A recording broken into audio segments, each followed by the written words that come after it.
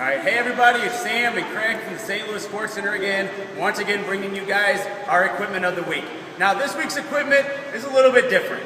This requires more than just one obstacle or just one tool. Today, we're doing the entire obstacle course. So, what better way to demonstrate the obstacle course than by actually having the girls from our boot camp show you guys a little demonstration. So, girls, say hi to everybody on the internet.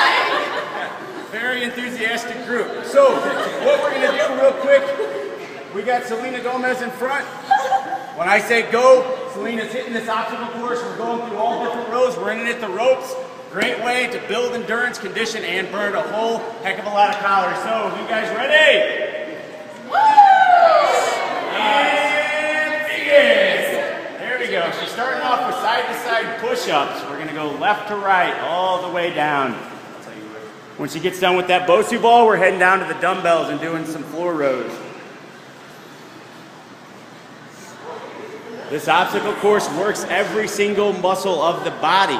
You're also going to burn about three times the amount of calories just doing five laps on this than you would doing 30 minutes on a treadmill.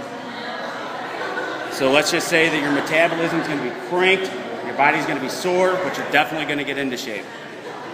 There we go. From there, the pace starts to kick back up. We're just running hands side to side while the next girls are running through. Right there. She goes to five floor checks on the ground. One, two, three, four, five. Excellent. From there, down the ground, crab walks all the way up.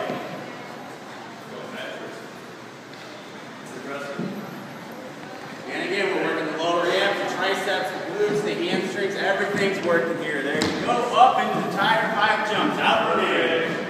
One, two, three, four, and five. Perfect. Run to the top of that box. Excellent. And now go for the last. She got 20 over, then we're done. She gets to her third one.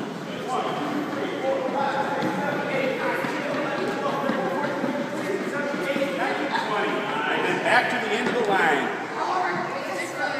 As you guys can see, something like this is definitely going to kick your butt. It's going to give you a heck of a workout. So get down here to Sports Center and try it out. That's right. Like us on Facebook.